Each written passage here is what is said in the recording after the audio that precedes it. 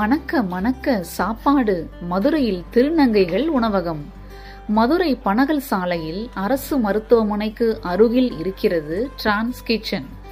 இங்கே மணக்க மணக்க காலையில் சூடான இட்லி பொங்கல் வடை துவங்கி மதியம் சைவ அசைவ வகையாராக்களாக சாப்பாடு முதல் பிரியாணி வரையிலும் லெமன் தயிர் தக்காளி என வெரைட்டி ரைஸ் வகையாராக்களும் இரவில் புரோட்டா சப்பாத்தி என விதவிதமான உணவு பதார்த்தங்களை ருசிக்கலாம். இந்த கடைக்கு என்ன விசேஷம்? வேறொன்றுமில்லை. இந்த கடையை நடத்துபவர்கள் துவங்கி பணிபுரிவோர் வரை அத்தனை பேருமே திருநங்கைகள். இந்த டிரான்ஸ் கிச்சன் கோவைக்கு அடுத்து மதுரையில் தான் துவங்கப்பட்டுள்ளது. இது குறித்து திருநங்கை குமுதாவிடம் பேசினோம். திருநங்கைகள் என்றாலே பொதுவான தவறான கண்ணோட்டம் இருக்கிறது. இதனை மாற்றும் வகையில் இந்த உணவகத்தை துவக்கியுள்ளோம். மொத்தம் பதினைந்து பேர் சேர்ந்து இந்த உணவகத்தை ஆரம்பித்து சுவை சுகாதாரத்துடன் குறைவான விலைக்கு உணவளிப்பதே எங்கள் குறிக்கோள். கடந்த பத்து ஆண்டுகளுக்கும் மேலாக மதுரை உலகநேரி பகுதியில் ஜெயசித்ரா என்பவரது தலைமையில் கேட்டரிங் நடத்தி வந்தோம். வீட்டிற்குள்ளேயே செய்து வந்த நாங்களாக இப்போது கடை திறந்துள்ளோம். இடம் கிடைக்காமல் அலைந்து திரிந்தோம். பல அமைப்புகள் கடன் தர முன்வந்தன அவர்கள் ஒத்துழைப்பில் பலரது உதவியில் இப்போது மருத்துவமனை அருகிலேயே இந்த இடம் கிடைத்திருக்கிறது. அக்கம் பக்கத்தினர் உள்ளிட்ட அனைத்து தரப்பினரும் அன்போடு நடந்து கொள்கிறார்கள். பொதுமக்கள் எங்கள் உணவகத்தை தேடி வருகிறார்கள். அரசு மருத்துவமனை என்பதால் ஏழை எளிய நோயாளிகளுக்கான சுடுதண்ணீர் உள்ளிட்டவைகளை இலவசமாக வழங்குவதுடன் உணவற்ற ஏழை நோயாளிகளுக்கும் இலவச உணவு தருகிறோம்.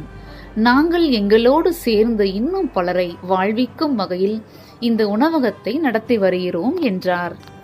பேர் ஜெயசித்ரா. நான் வந்து இப்போ மதுரையில் உலக நேரில் நாங்கள் இருக்கிறோம்.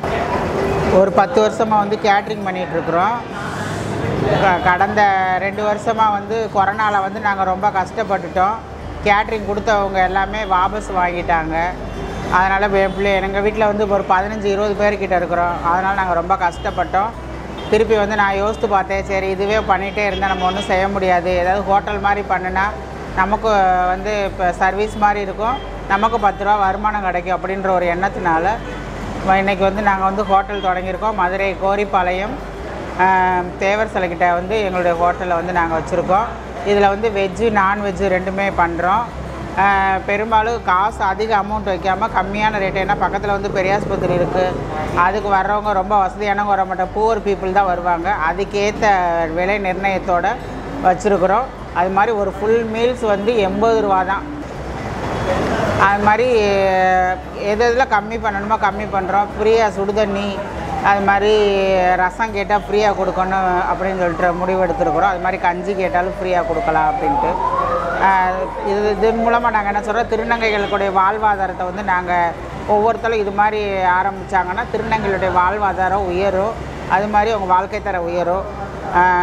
மற்றபடி வந்து என்னென்னா நிறைய பொதுமக்களோட நாங்கள் சந்திக்கக்கூடிய வாய்ப்பு இருக்குது அவங்களும் எனக்கு எங்களுக்கு வாய்ப்பு தரணும். அதன் மூலமாக நாங்களும் எங்களுடைய வாழ்க்கை தரத்தை நாங்கள் உயர்த்திக்கலாம்.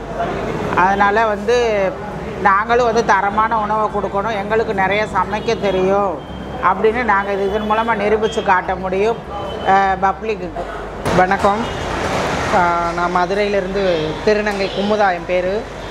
நாங்கள் வந்து இப்போ வந்து தமிழ்நாட்டில் வந்து ஃபஸ்ட்டு கோயம்புத்தூரில் கேட்ரிங் ஹோட்டல் த ஆரம்பித்தாங்க இப்போ செகண்டாக ஃபஸ்ட்டு ஃபஸ்ட்டு மதுரையில் நாங்கள் தான் ஆரம்பிச்சிருக்கோம்.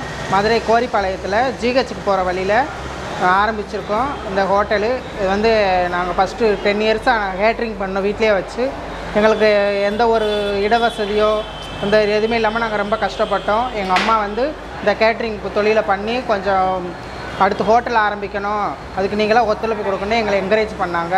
அவங்கள சுற்றி நாங்கள் பதினஞ்சு பேர் இருக்கோம். எங்கள் அம்மா பேர் ஜெயசித்ரா அவங்க. திருநங்கை.